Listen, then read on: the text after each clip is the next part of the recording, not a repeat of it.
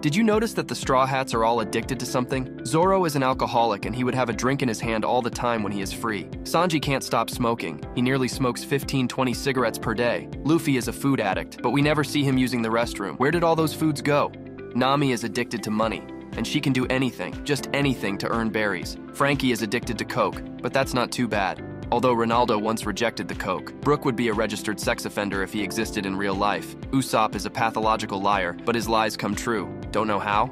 Robin has an obsession with making scary scenarios in her head, while Chopper is probably the worst of them all as he basically abuses deer steroids in the form of rumble balls. The Straw Hats don't seem like good pirates, but I think Shanks' crew is much better. What do you think?